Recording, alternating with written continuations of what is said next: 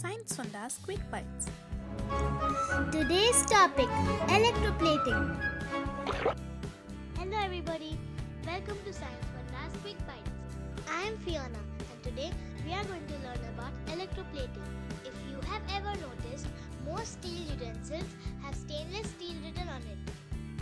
Spoons, taps, car parts are all corrosion resistant, shiny, and scratch proof.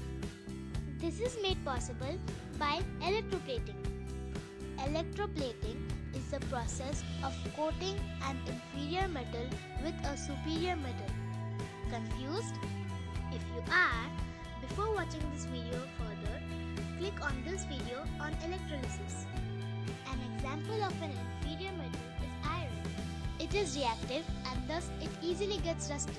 Superior metals, on the other hand, are less reactive, like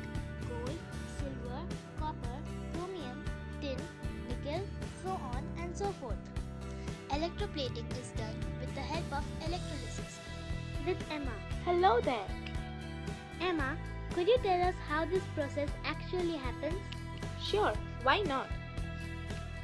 Electroplating is done in an electrolytic cell, and the process that is carried out is electrolysis. The cathode is always taken as the object to be plated. Here it is the bell. Now, if I want to coat a layer of nickel on the bell, then the anode that I will take is of pure nickel. Therefore, the anode is always taken as the metal to, with which the cathode is to be plated with. Now, the salt solution that will be taken in this case is nickel sulfate or NiSO4.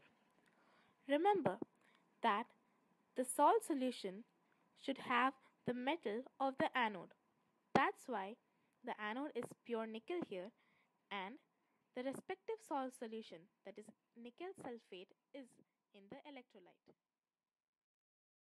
When the current starts flowing, the electrolyte is separated into ions that is nickel sulfate breaks down into ions of nickel and sulfate.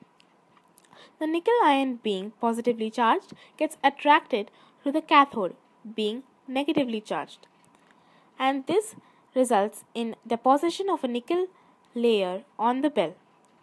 On the other side in the anode the nickel reacts with the sulfate ions and this creates NiSO4 or nickel sulfate which gets back to the electrolyte and this again forms ions and the process goes on. Over a period of time the bell gets coated with nickel and then you have the electroplated bell. Thank you for watching this video. Hope it helped.